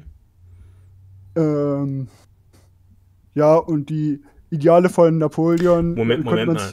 In Personal, das ist doch die, äh, ist das nicht seit August dem Starken so? Er war doch Kurfürst in Sachsen und König in Polen, oder? Genau, genau. Daz Okay. Dazwischen gab es dann natürlich auch noch wieder andere Könige. Ja. Gab dann halt die drei Sachsenkönige. Ah, ja. Aber ja, dann, Dann gab es noch den, den einen hat doch Katharina die Große noch eingesetzt. ja, genau. Mhm, mhm. Katharina die Große hatte auch viel mit äh, Stanisław Poniatowski zu tun. Die gucken, hatten ja so eine kleine Liebesbeziehung auch unterhalten. Gut, Katharina die Große hat ja relativ viele Liebesbeziehungen unterhalten. Ja. Ne? Ich Habt hab ihr das nicht sogar nachgesagt, dass sie auch äh, gewissen Mit einem Tieren Pferd. nicht- Ja, okay. mit einem Pferd. ja, das ist aber, das muss man dazu sagen, das ist, glaube ich, eher dem, dem Neid geschuldet. Erstmal war sie, Ja. ne, war sie, war sie die König, die, die Kaiserin oder die Zarin des mächtigsten Reiches in Europa. Ne? Ja. Und äh, ich glaube, die anderen haben sich dann halt, haben dann halt so ein bisschen, bisschen Neid gehabt und da hat man hier halt allerhand angedichtet. Jetzt frage ich dich, wo ist denn der Unterschied, ob sich ein, ein Ludwig der 16. ein Harem hält mit hunderten von Konkubinen oder ob sich ähm, eine Katharina die Große jetzt ein, in Anführungsstrichen, Harem hält, eigentlich. Das sind ja nicht heute, Leute, die sie. Heute ist das kein Problem, aber damals. Ja, aber damals war da, damals jetzt, es ist halt, in, in meinen Augen ist es halt viel ist, ist übertrieben äh, oder viel ist einfach Propaganda. Mit Sicherheit. Äh, Gerade gerade im Siebenjährigen Krieg, ich meine, Friedrich nannte sie eine der Erzhuren Europas. ja. Ja, aber gut, der hat ja generell ein Problem mit Frauen, der Friedrich. Ja. Er war Ich auch übrigens- ich- Ich, ich habe das übrigens gefunden. Jetzt, was ich eben meinte. The revolution won. In 1804, Saint, Domi uh, Saint Dominique adopted a new constitution and became Haiti. The constitution guaranteed that any Pole wishing to become Haitian would be uh, Haitian would be guaranteed citizenship. Das heißt, wenn du jetzt als Pole nach Haiti gehst und sagst, du möchtest eine Staatsbürgerschaft, die geben dir die. Das steht in der Verfassung drin. Geht, geht es heute auch noch, ja? Ja. The Na, Poles Adam, dann los. Haiti's Haiti's first president Jean-Jacques Dessalles said, "We're the white Negroes of Europe. They share with the Haitian comrades a story of oppression and root, uh, rootlessness." Okay. Also du kriegst zu der Staatsbürgerschaft kriegst du auch einen N-Word-Pass. okay. verrückt. Total verrückt. Ja. Noch nie davon gehört. Aber Aber musst mal überlegen, was, was die Jungs da gerockt haben müssen, dass die einfach sagen, okay, wir packen das in die, Konst äh, in die, in die Verfassung, packen wir jetzt rein, dass jeder Pole, der hier auftaucht, einfach Staatsbürgerschaft haben kann. Ja. ja. Krass. Ja, Aber die ähm, Polen haben auch überall mitgemischt, ne? So überall mal so ein bisschen, ob jetzt ja. so, so ein bisschen wie die. Unabhängigkeitskrieg war man auch dicke bei. Ja, ich. War, amerikanischer Unabhängigkeitskrieg doch auch, ne? Ja, habe ich auch gerade gesagt. Äh, so, Ich, ich habe eben verstanden, äh, arabischer Unabhängigkeitskrieg. Nee, Ich dachte so, was? neben Ara amerikanischen Unabhängigkeitskrieg mit äh, Tadeusz Kosciuszko, Kazimierz Spuraski waren ja da alle unterwegs. Kazimierz Spuraski als äh, Vater der US Cavalry. hm, Ja, natürlich, die, die US-Kavallerie wurde natürlich von den Polen ausgebildet. Das macht Sinn. Ja, Aber die hatten keine Flügel, oder? nein, die hatten, das, die hatten keine Husarier. Was mich mal, mal, mal interessiert, woher kommt das eigentlich, dass die Polen so auf Kavallerie umgestiegen sind? Ich meine, wenn du das rundrum so siehst, nachher, eigentlich, eigentlich, wo Polen richtig zur Kavallerie gegangen ist, haben die anderen doch eher schon mit Fußtruppen angefangen. Naja, das Ding ist, äh, du musst dir die Ge- Gemeinden angucken, in denen Polen unterwegs war. Polen hat meistens Krieg gegen Osten oder gegen Süden geführt. Hm. Gegen die Osmanen oder gegen die Russen? Ja, und das heißt Ebene. Da, Hm. da, da Weite- knattert das natürlich schön. Weite Ebene. Und da bieten, bietet sich Kavallerie weitaus mehr an als Infanterie. War ja auch alles nicht so dicht besiedelt, ne? Da unten Ja. die Ecke. Ja. Und du Ähm, hattest halt auch berittene Gegner, wenn man sieht, wenn wir uns an die Tataren, die Kosaken erinnern, also das waren ja auch berittene Gegner. Also gehst du natürlich selbst mit Kavallerie vor. Das macht natürlich Sinn, ja. Und schon haben sie die Osmanen vor Wien vertrieben. Ja, und dazu kommt noch dieser polnische Tick, den man da hatte, gerade unter dem Adel, dass man sich eine Herkunft von den antiken Sarmaten erdacht hatte. Und die Sarmaten waren ein Reitervolk. Wie kommt denn das zustande, die Sarmaten? Okay, das ist ein bisschen südlicher ist diese Region, aber wie kommt ihr denn darauf, dass die Sarmaten sind? Weil sie es einfach interessant fanden oder hat es wirklich tatsächlich ethnische Verbindungen auch noch? Also ethnische Verbindungen würde ich da eher nicht sagen, sondern Das ist eher, eigentlich Schwarzes Meer, oder? Also nördlich vom Ja. Schwarzen Meer irgendwie. sondern eher so eine Art, ja, romantisches Gebilde, Ja. edle Herkunft, um sich so von den Slawen so ein bisschen abzuheben. Na, das ist so, das ist so wie bei den, wie bei den äh, Jugoslawen nachher. Die Kroaten haben ja für sich in Anspruch genommen, dass sie ja nicht, dass sie ja nicht Jugoslawen wären, also keine Slawen, sondern dass sie von den Illyrern und Goten abstammten. Genau, genau. Okay. Das ist dann immer so ein bisschen, wir versuchen uns von unseren Nachbarn abzuheben und dadurch, Ja, ja, ja, Sarmat okay. das Sarmatentum war in Polen unter dem Adel extrem stark verbreitet. Auch einer der äh, Gründe, warum Polen Litauen untergegangen ist. Ja. Ähm, ein Weil das Aspekt, genau so ein Clusterfuck war wie das Heilige Römische Reich. Ja, ja, nur, nur halt ein bisschen äh, zusammenhängender. Auf der Karte jedenfalls. Und es war riesig. Ja. Und hatte viele Feinde. Und die hätten bald Russland erobert. Ja. Ja, in, Mo in Moskau stand man ja, aber man konnte sich da nicht einigen, wer Zar von Russland wird. Okay, das ist, das ist gut. Das ist wirklich gut. Bis hierhin haben wir es geschafft. Okay, wer, wer wird König? Na, man, das, das Problem war zu der Zeit, Polen hatte einen Vasa-König. Und sowohl Von dem Władysław- Knäckebrot? sowohl Władysław wie auch äh, Sigmund Vasa. Sigmund Vasa war zu der Zeit äh, schwedischer König. Haben halt Anspruch auf die Zahnkrone erhoben. Hm, krass. ja, Okay. dann konnte man sich dann halt nicht einigen. Ja. Dazu dann noch die Zeit der Wirren in Russland, ist ja auch noch ein riesengroßes Kapitel, die 100.000 Dimitris. Ja. Das ist echt undurchschaubar. Aber da gibt es eine gute Reihe äh, von Epic T History TV. Diese russische Zeit wird da beleuchtet, aber ist trotzdem total Hm. verwirrend. Ähm, so, jetzt für mich nochmal jetzt abschließend so zu dem Thema Ja, Russland und vielleicht doch abschließend jetzt für diesen Podcast oder für diese Ach, Folge. wo, ich, ich habe einen noch. Ich habe einen noch. Oh, Johnny, ich dann, hab dann, lass, dann lass mich kurz noch das russische Ding und dann kommt deins als Abschluss.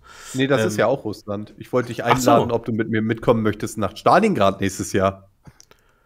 Da sprechen wir nächstes Jahr drüber. Ich Ich will will im April. Ich, Im April will ich los. Ich frage dich jetzt hier öffentlich, da kannst du nicht absagen.